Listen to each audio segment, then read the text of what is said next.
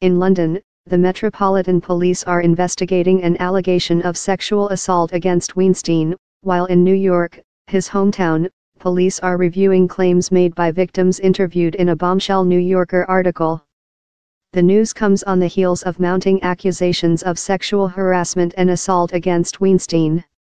The studio executive and political power broker is facing allegations of rape, unwanted touching and assault by a number of women, including accusations of harassment by actresses Gwyneth Paltrow and Angelina Jolie, in recent stories published in the New York Times and the New Yorker. Weinstein representative Sallie Hofmeister declined to comment on the New York Police Department investigation. News Total reached out for comment regarding the fresh investigation launched in London, but has not yet received a response. When asked about the New Yorker story, a Weinstein spokeswoman told News Total on Tuesday, Mr. Weinstein obviously can't speak to anonymous allegations, but with respect to any women who have made allegations on the record, Mr. Weinstein believes that all of these relationships were consensual. The movie producer has previously denied any allegations of non-consensual sex. Related, Gwyneth Paltrow and many others accuse Weinstein of harassment slash strong a Metropolitan Police spokesperson told News Total that an alleged sexual assault involving Weinstein, which was referred to the London force by police in northern England, will be assessed by officers from the Child Abuse and Sexual Offences Command. Merseyside Police, which covers area in and around the city of Liverpool, said the allegation related to an incident in the 1980s.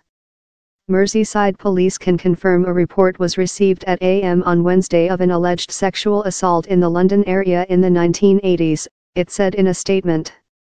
Similar allegations have riled the criminal justice system across the pond, where the NYPD said on Thursday that it was investigating claims against the Hollywood producer detailed in the New Yorker article. Among those is a 2004 incident involving aspiring actress Lucia Evans, who alleged that Weinstein forced her to perform oral sex on him in a Miramax office in New York, the New Yorker reported.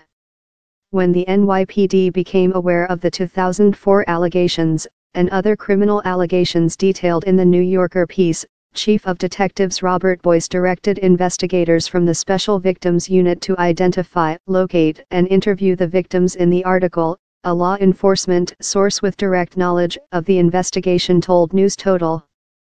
Related, explosive Weinstein stories expose mogul's power over media slash strong Weinstein could be subject to arrest in regard to the 2004 incident if law enforcement has enough evidence to prosecute, the source added.